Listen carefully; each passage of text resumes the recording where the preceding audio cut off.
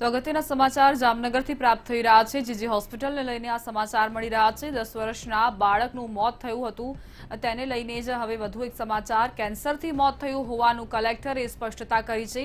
કલેક્ટરે જણાવ્યું છે કે આ બાળકનું કોરોનાથી મોત નથી થયું. રિપોર્ટમાં કોરોનાથી મોત થયું હોવાનું જાહેર કરવામાં આવ્યું હતું.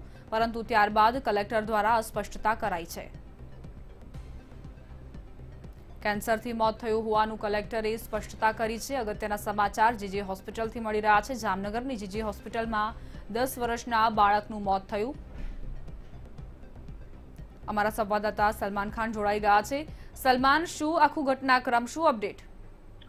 બિલકુલ, જે રીતે દીપા વાત કરવામાં આવે તો આજે જામનગરમાં સવારના ભાગે તંત્ર દ્વારા જે કોરોનાનો રિપોર્ટ આપવામાં આવ્યો હતો તેમાં જે એક બાર વાર જે બાળક જે કોવિડ નાઇન્ટીન હોસ્પિટલમાં સારવાર લઈ રહ્યો છે, કોરોના પોઝિટિવ હતો, તેના રિપોર્ટમાં સૌપ્રથમ જે રીતે વાત કરવામાં આવે તો કોરોનાથી મોત થયાનું જાહેર કરવામાં આવ્યું હતું. પરંતુ ક્યાંક ને ક્યાંક થોડી ક્ષણો બાદ જે રીતે જામનગર જિલ્લા કલેક્ટર દ્વારા ચોક્કસ છે, સ્પષ્ટતા છે તે કરવામાં આવી છે કે આ બાળક છે, તેનું કોરોનાથી નહીં, પરંતુ આ બાળક સૌપ્રથમ કેન્સરથી પણ પીડિત હતું અને કેન્સરની બીમારીના કારણે તે બાળકનું છે ને મોત થયાનું તેઓ જાહેર કર્યું છે. જી.